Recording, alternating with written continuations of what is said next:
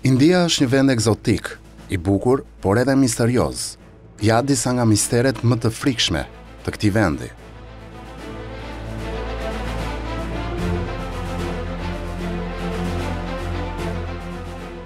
Baza e UFO-ve në Kongka La Pass. Lokaliteti Kongka La Pass në zonën Ladakh të Indisë është njëri ndër lokalitetet më pak të qasshme në botë.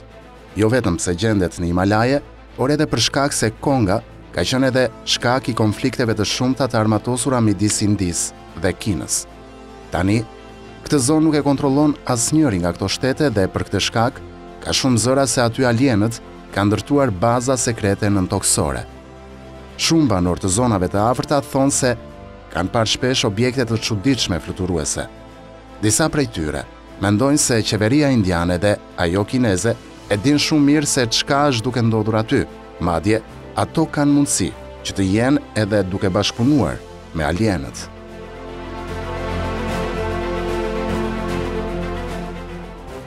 Nëntë burrat e panjohur Nëntë burrat e panjohur për Indinë janë si iluministët për botën perëndimore, por edhe më intrigues dhe misteriozë. Sipas legjendës, kjo shoqëri e fuqishme sekrete ishte themeluar nga perandori Asoka në vitin dyqind e shtatëdhjetë e tre para erës së re, pas një lufte të përgjakshme që mori jetët e rreth 100.000 njerëzve. Funksioni i nëntë burrave të panjohur ishte që ta ruante dhe zhvillonte një informatë sekrete, e cila do të ishte tepër e rrezikshme po të binte në duar të gabuara. Secili nga nëntë burrat ishte ngarkuar me nga një libër special të dijes, duke filluar nga propaganda e deri tek mikrobiologjia.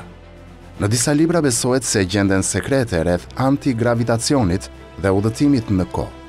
Thuhet se arti luftarak i xhudos ka rrjedhë nga këta libra, respektivisht nga libri i fiziologjisë.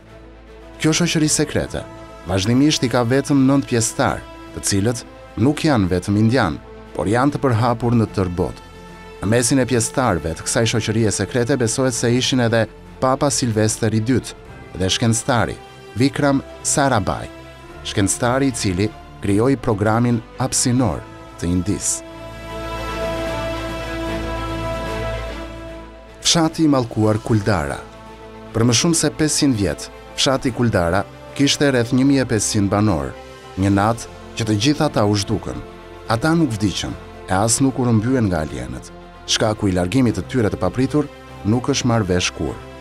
Disa thonë se fshatarët kishin ikur nga tatimet e mëdha, derisa, disa të tjerë, përmendin tregimin e një çifti të ri të dashuruar, ku i ati i vajzës ishte kundër kësaj lidhjeje dhe për ta larguar të bijën nga i dashuri i saj, ai kishte vendosur që të largohej me tërë fshatin meqë ishte një njeri me ndikim, pa marrë parasysh shkakun e largimit të tyre për një gjë që të gjithë janë dakord.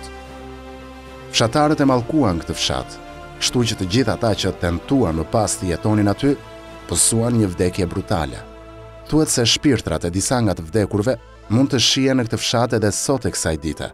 Sido që të jetë, fshati në fjalë edhe sot e kësaj dite mbetet i shkretë.